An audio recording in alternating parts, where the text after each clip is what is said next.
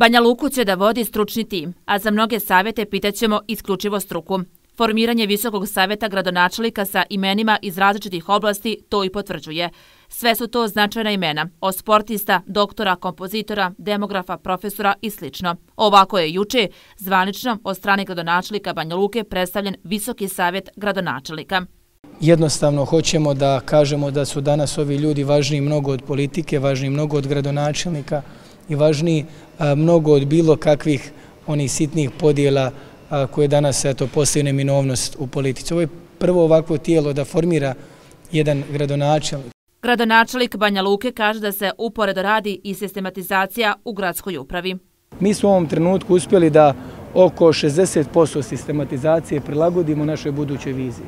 Dakle, mijenjati sistematizaciju je jedan dugotrajan proces. Ono što je važno reći, da smo sa 12 odjeljenja došli na 9 odjeljenja. Ogromna ušteda.